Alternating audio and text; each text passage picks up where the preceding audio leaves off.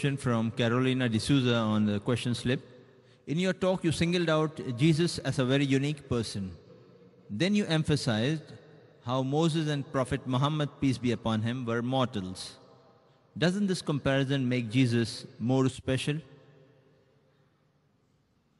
The question posed by the sister is that when I spoke about Jesus Christ, peace be upon him, in comparison, I proved that Muhammad and Moses, peace be upon them, they were mortals. Doesn't it make Jesus Christ, peace be upon him, special? Special, yes, but not God. Special, yes. He's a special messenger. Every messenger was given a speciality.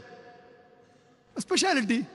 Like Moses, peace be upon him, he is called as Kalimullah, that Almighty God spoke to him. So in that way he was special. Same way Jesus Christ, peace be upon him, was special because he was born miraculously without any male intervention.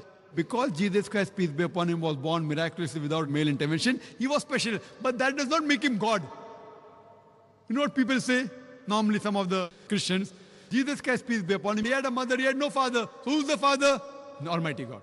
So just because he had no worldly father, if it makes him God, the reply is given in Surah Al-Imran, chapter number 3, verse number 59. It says, Inna masala Isa in the like masal Adam. Khalaqa min turab, summa qala lahu kun fayakun. That the similitude of Jesus is the same of Adam, peace be upon him. He was made from dust and said, be it was. If you say that Jesus Christ, peace be upon him, Almighty God, because he had no father, then Adam, peace be upon him, according to the Quran and the Bible, he had no mother and no father. So do you mean to say he's a greater God?